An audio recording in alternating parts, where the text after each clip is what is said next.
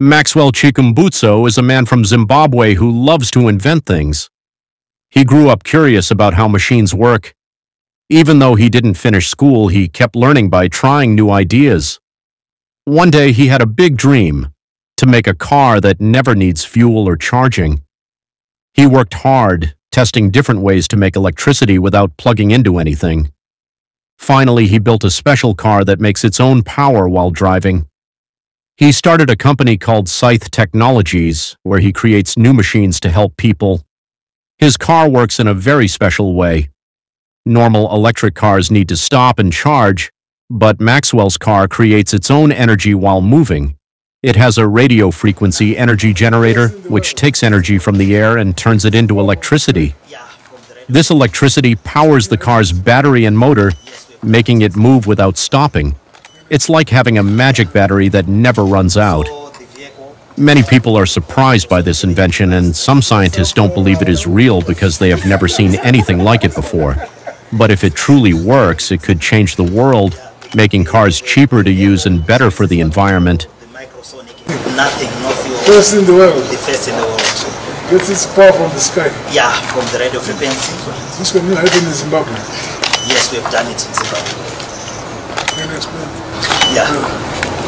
So the vehicle it is powered with what we call a microsonic energy device. That is the That's after uh, now let's go.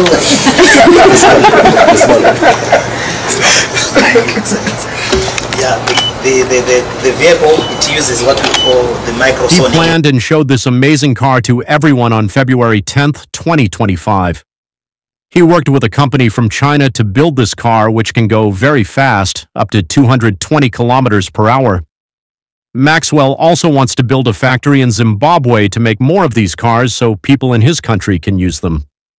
The president of Zimbabwe, Mr. Mnangagwa, is very proud of Maxwell's work and believes it shows how smart and creative Zimbabwean people are. Some people find it hard to believe that a car can run without fuel or charging, but if Maxwell's car works as he says, it could change how cars are made and used all over the world. He met with President Mnangagwa to show him this car and other inventions. However, some people are now saying that Maxwell's inventions might not be real they think he might have taken other people's products and said they were his own. Because of this, some of the messages about Maxwell's inventions have been removed from the internet.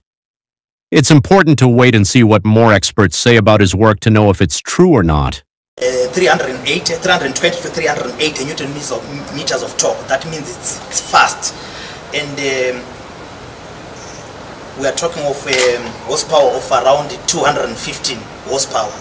So when we compare this car with the with the same cars of of this model like the Toyota the Toyota um, Urban Cruiser you will see that this is uh, efficient in everything when you talk of load our car it doesn't weigh much it weighs one Maxwell Chikumbutso's car is very special because it does not need fuel or charging.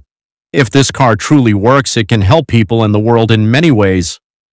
First, it will save money. Right now, people spend a lot of money to buy petrol or charge electric cars, but Maxwell's car makes its own energy so people will not need to pay for fuel or electricity to drive it. This will help families and businesses save more money. Second, it will help the environment. Cars that use petrol release dirty smoke into the air, which makes the world hotter and causes climate change. But Maxwell's car does not pollute the air because it does not burn petrol. This will help keep the air clean and fresh. Third, it will help countries grow. If Zimbabwe and other African countries build many of these cars, they can sell them to other countries. This will create jobs for people who will make, sell, and fix the cars. It will also help Africa become a leader in new technology. Finally, this car will make life easier. People will not worry about running out of fuel or looking for a charging station. They can drive anywhere without stopping to fill up. If Maxwell's car works, it will change how people travel and make life better for everyone. Energy device, it is the, the device that I personally invented in 2009, which harness radio frequencies, converted it into energy. As you know, radio frequencies, they are measured in nanovolts, meaning to say they are less than a volt, they are just like nothing, but we find a way of harnessing it through the the, the creation or for the 70% of the components in the microsonic energy, which I've tailor-made, which I've designed. So those are the components that that, that enable the, the radio frequency to be transferred into pure useful energy. And this is the first time in the world.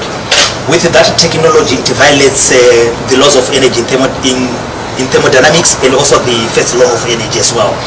So they wanted to arrest Tesla cars are very popular because they use electricity instead of petrol, but Tesla cars need to stop and charge their batteries after some time. This can take a long time and people must find a charging station.